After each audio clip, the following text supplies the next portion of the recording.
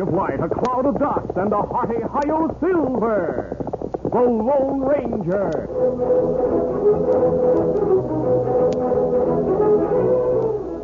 Before this exciting adventure, a word from our sponsor. General Mills, makers of Cheerios, the ready-to-eat oat cereal that gives you go power, and Wheaties, the breakfast of champions, present by special recording, The Lone Ranger. That? It's the sound of a mighty American Airlines flagship taking off. You know, being an American Airlines pilot is an exciting job. And now, thanks to Cheerios, you too can share in that fun. Because inside every specially marked package of Cheerios, you'll now find a free American Airlines air travel game. Yes, a free airplane game for you and your friends, complete with instructions, four airplane playing pieces, a spinner, and two playing boards.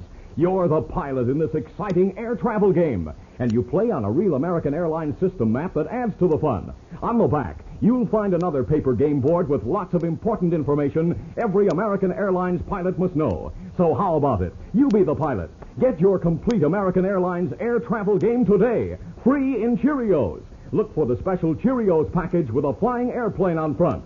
Supplies are limited, so hurry. Ask for Cheerios today, the ready-to-eat oat cereal that gives you go power.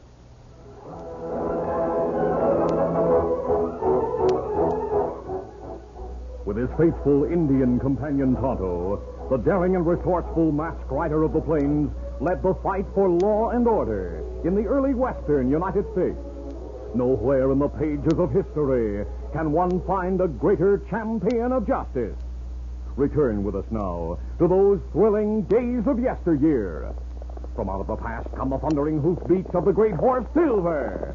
The Lone Ranger rides again. Come on, Silver. Let's go, big fella. Hi-Yo Silver. Away!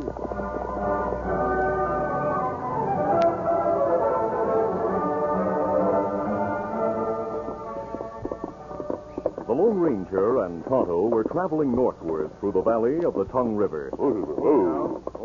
When they drew rein at a spring to water their horses, the masked man said, Tonto, we're near the border of the Sioux Indians' treaty lands. Ah. Only Sioux got right to be there. That's true. Under the treaty, even soldiers can't enter their lands without inviting trouble. And better we stay out of that territory. Yes, we'll follow the river. I... Kemo Sabe, look ahead in valley. A rider. He headed this way. Ah. Look like young Indian. He's coming fast. Tonto, that pony seems to be out of control. Oh, he's plenty wild Mustang. The Indian's tied to its back. It may roll on him. Or crush him against rock. We'll try to catch it. Come on, Silver. Get him up, out. As the Lone Ranger and Tonto urged their horses forward, the oncoming Mustang changed its course and headed toward boulders against which to crush the helplessly tied riders. Come on, Silver. Racing to intercept the Mustang, the Lone Ranger and Tonto loosened their lariats. The great horse Silver and Tonto's paint horse Scout seemed to know that a life depended on their speed. They closed in, one on each side of the Mustang, so their riders could throw the lariats. Ho, Silver, ho. When the ropes dropped over the Mustang's neck, Scout and Silver braced and held them tight. The captured animal kicked, bucked, and squealed in fury. Easy, steady, big fella. I'll cut the boy loose. Hold steady, Silver. Fast. Dodging the Mustang's flailing hoofs, the masked man slashed the rawhide thongs that bound the Indian to its back. As the boy leaped to safety, the Lone Ranger quickly cut the rope. The released Mustang raced away at top speed as the masked man turned to the young Indian. You, you had a narrow escape. Yes. I thank you for saving my life. But you, you wear a mask. Please accept us as friends. I do so. I, I ask no more questions. Uh, who are you? Tall Pine of the Ogallala Sioux. White men call me Joe. You speak English very well, Joe. Oh, how old are you? Seventeen. I returned to my people from a mission school last month. Who tied you to that Mustang? My people did it. It was their way of putting me to death. They knew the wild pony would soon kill me. You break tribal law? No. I tried to keep my people from attacking soldiers. Oh. Joe, you'd better tell Tonto and me about that. Chief Grey Wolf and a white man named Deke Humbert plan to attack army wagons that will travel tonight to reach Fort Franklin. Fort Franklin isn't far from here. Neither is the Indian village. When I heard of the plans, I tried to persuade my people not to take part in it. Grey Wolf became angry. Uh, him make trouble plenty time. He's a bad man. And Deke Humbert is worse. Humbert is the one who learned what the wagons carry. This is the first of the month. It's time for payroll money to go to the fort. The wagons carry money. Also rifles and ammunition. That what Grey Wolf wants? Yes. My people have no use for white man's money. But they want rifles. So that's it. Deke Humbert expects the Indians to massacre the soldiers and take the rifles and ammunition. After the fight, Humbert's men will ride in and get the money. They want the Indians to do the fighting and take the blame. The Indians will have reason to attack. Oh, why? The army wagons will be in the Indian treaty land. The soldiers know better than to trespass on that land. Soldiers are not familiar with this country. To them, it all looks alike. They must depend on their civilian scouts. Of course. The scouts for the army train are members of Deke Humbert's gang. Joe, are you sure? I am sure. How do you know? I and all my people heard the talk when Deke Humbert held council with Grey Wolf. So those scouts are going to lead the army wagons and guards into an ambush. Yes. I tried to leave the village to tell the colonel at Fort Franklin, but I was caught by Grey Wolf. Did he know your intention? He suspected I was trying to reach the fort. He called a council of the elders of the tribe. They sentenced me to be tied to the back of a wild pony. That nearly always mean death. I would have been killed. But for you who saved me. Joe, you can never return to your people. No. I'm banished. There's no place for me to go. Yes, there is. Go to Fort Franklin. The Army needs young men like you. Oh, it's too late. Too late? Even if I had a horse, I could not tell the soldiers about the plans in time to prevent the massacre. Kemo Sabe, Yes? maybe we warn soldier, prevent massacre. I'd like to do more than that. What more could be? Deke Humbert has gotten away with many crooked schemes. I'd like to put him where he'll never again make trouble. Now I know you are my friend. I hope we meet again. So do I, Joe. I'll walk to the fort. Goodbye. Adios. Adios. Easy. Big fella. Easy, Scout. Easy, fella. Come on, through there. Come up, Scout. As Joe started toward the fort, the Lone Ranger and Tonto rode rapidly in the opposite direction, hoping to sight the army wagons.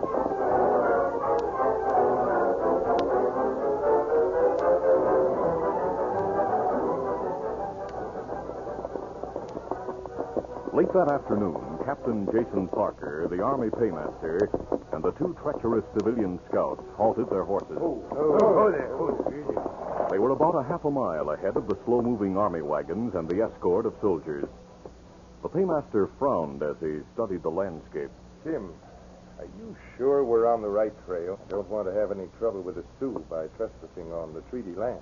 I should say not. Don't you worry, Captain. Matt and I have been over Oh, the this wagons are coming. We'll uh, we'll make camp for the night. camp. Here? Yes. It'll soon be dark, and I'd rather not approach any closer to the treaty lands in darkness. But I, uh, I thought we were going to keep going until we reached the fort. I'm changing the plan. We'll complete the trip tomorrow. But I don't it's think my I- duty to deliver the wagons intact and to avoid trouble with Indians.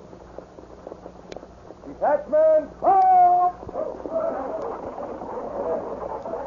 Circle the wagons and make fast!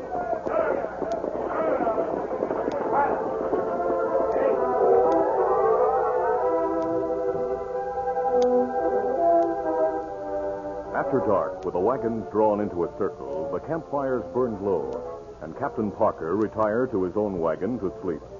The soldiers, all except the sentry, rolled into their blankets for the night.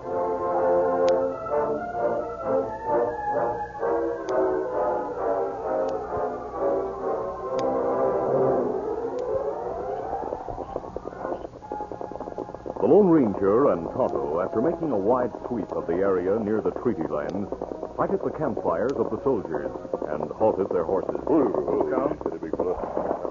Tonto, those soldiers aren't on the treaty land. They're not far from us. That's right. If them travel more, then cross boundary. Then Indians attack. They've been taken a long way off the Fort Franklin trail. That proves scouts crooked. Yes, easy, steady, big fella. Leave the horses here, Tonto. Easy, Scout, easy, fella. We go close, closer to camp. Yes, I'd like to talk to the officer in charge. Ah, maybe soldiers on guard. If so, we'll have to get past them.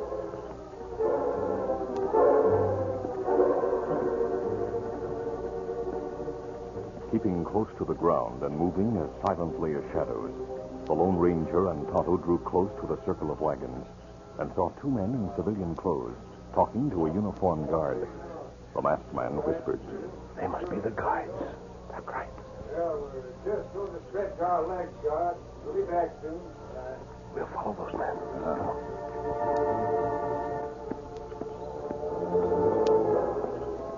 The two civilian scouts walked across the rock strewn ground until they considered it safe to talk without fear of being overheard.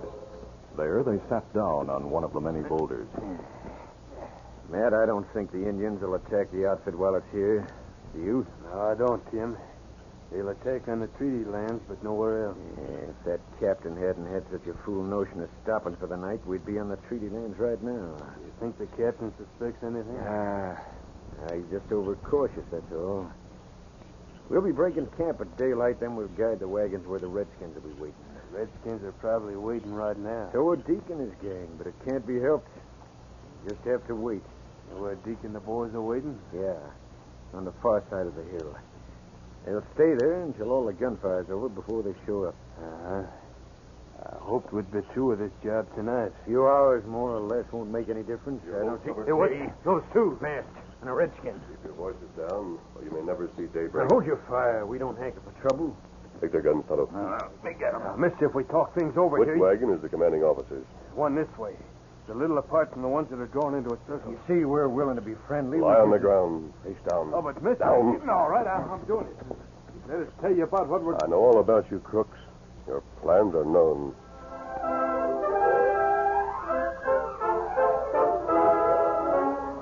We'll continue our Lone Ranger adventure in just a moment.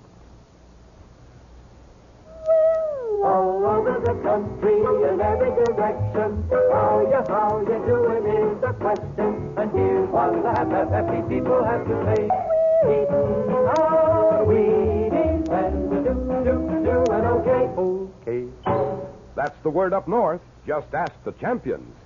Up north, we know what Wheaties mean. To guys like Slug and Harvey Kuenn. We love to see him belt that ball and make the fielders climb the wall. And Richie Ashburn, yes, indeed. He plays baseball at Wheaties speed. Just watch him flash from base to base. This boy could win in any race. Yes, sir. Harvey Kuenn and Richie Ashburn are longtime Wheaties fans. Both of them know there's a whole kernel of wheat in every Wheaties flake. Wheaties, breakfast of champions. Keep on eating your Wheaties and you'll be do, do, doing okay. Okay.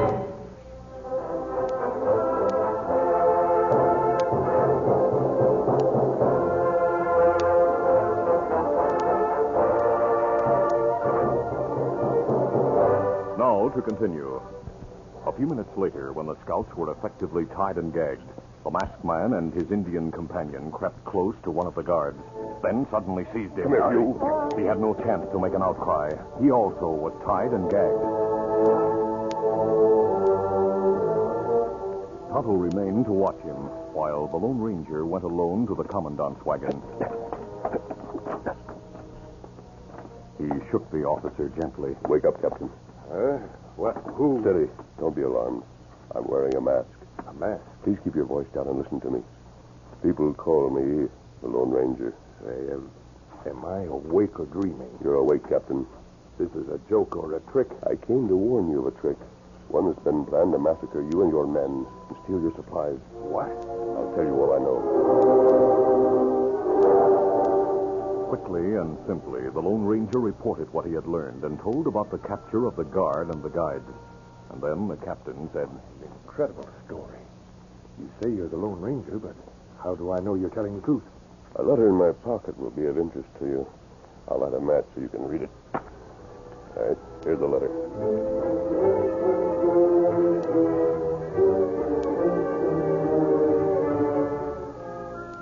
The letter was signed in the familiar handwriting of a high army official whose judgment the captain could not question.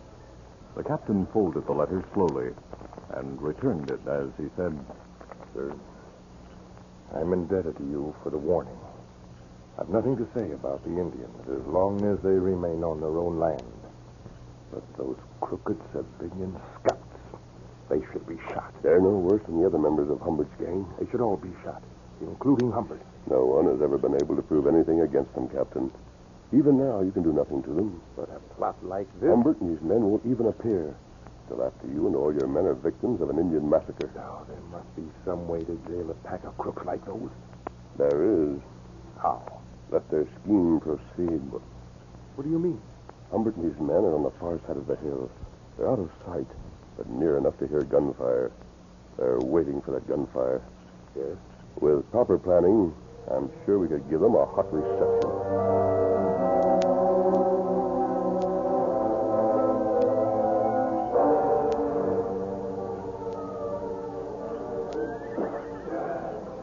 Deke Humbert had nearly 20 men in his gang on the far side of the hill. They had been waiting for hours, and midnight found them grumbling and restless. Hmm. Deke, has anyone looked over the hill for the past hour? Yeah, I did just a few minutes ago. Everything's still quiet where the soldiers are camped? Yeah, there's nothing we can do about it, boys. We just have to wait. I'm tired of waiting. I told you, boys, the army's not on treaty land. They're mighty close to it. I know that.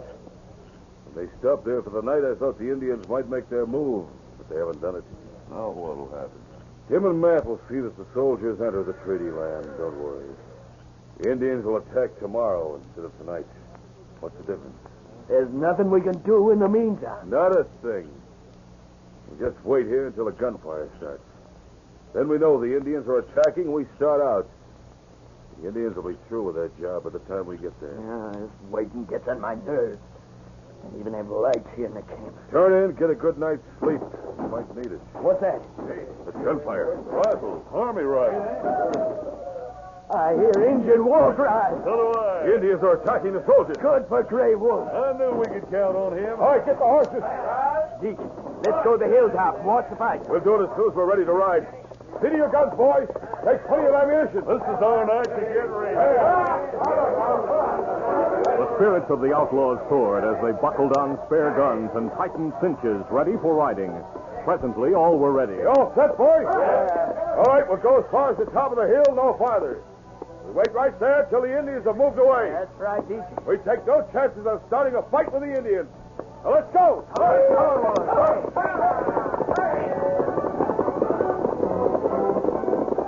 The outlaws raced to the top of the hill where they drew rein. When they looked down into the moonlit valley, they saw the wagons scattered. A couple of them turned on the side, and a scene that looked like a massacre. Yeah. Those redskins did their work fast. Must have caught the soldiers by complete surprise. Those soldiers didn't have a chance. I hope the Redskins left the cash for us. I'm sure they did. Let's go get it. Get it back. The army campfires had burned low, and darkness made it impossible for the outlaws to see details. But the wagons in disorder, the men lying on the ground, and the horses seemingly wandering at will, gave evidence of a quick and awful massacre. Here, here we are, boys. All set to take the cash. Yeah, there should be plenty of it. Uh, a pushover, huh, I told you there'd be nothing to it. We better keep our guns handy in case one or two of the critters are still alive. Yeah, that's a good idea. Everyone dismounted? Yeah. All right, go through the wagon systematically. The first man to move will be shot. Who said that? I did. He's over there, behind that wagon. Stand back in this place from here. Hey, what's this mean? They're all covered. They're not dead. They're all alive. It's a trap. Take them, boys. Out. All right, use your guns. Shoot the door. Men leaped to their feet on every side of Humbert's outlaws, and those who wanted gunplay found angry soldiers glad to accommodate them. A number of crooks were wounded by the opening shot, Others quickly realized that theirs was a hopeless situation. The Lone Ranger shouted, Put down your guns and raise your hands. What about you, Humbert? You, Mask, I'll kill oh, you. Oh, my arm. My arm is busted. You wanted more gunplay? And you got it, you scheming, murdering crook. We caught the pack of you red-handed. Oh, my arm. We'll bandage it before we take you and your pal to the fort. You, you're that masked man. You schemed the whole thing. Ah, it was the masked man's idea, Humbert, to let you trap yourself. It was also his idea to hog tie those crooked guides. And they'll stay tied till we reach the fort. Oh, Captain. Yes. Have you any more good ideas? Oh, just one. When you reach the fort, you might thank a young Indian named Joe. Indeed, I shall. He may be a soldier by the time you get there. If so, you'll be a good one. Tonto, will you stay with the troopers and serve as guide for the rest of the trip to Fort Franklin? Uh, me do it. Oh, you leaving us? Yes, Captain. I'll ride ahead to the fort and report what happened here. Very well. The commandant and the young Indian will be equally interested. Adios. Goodbye. And thanks for your help. big fella. Montilde! Well, Humbert, aren't you wondering who the masked man is? I know who he is. But I didn't suspect he was in these parts. I didn't figure on fighting the Lone Ranger.